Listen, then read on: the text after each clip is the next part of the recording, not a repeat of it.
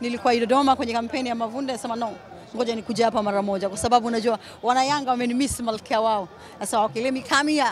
Yeah, kwa hiyo it's my first time kuona kikosi changu kipya kikicheza hapa leo Morogoro. Nimeandika historia, kwa hiyo good. I'm so happy with that and uh, atu, atuogopi wale Mikia. Mikia is always Mikia.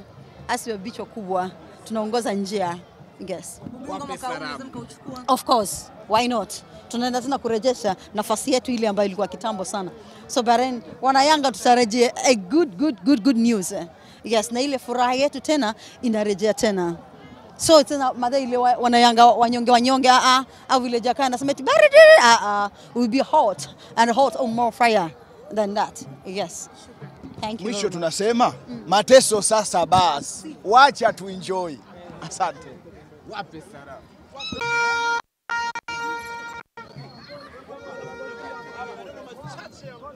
sababu star na kubrand serikali ya super blind. Kwa machache ya star na kufanya vitu kama hapo hapo.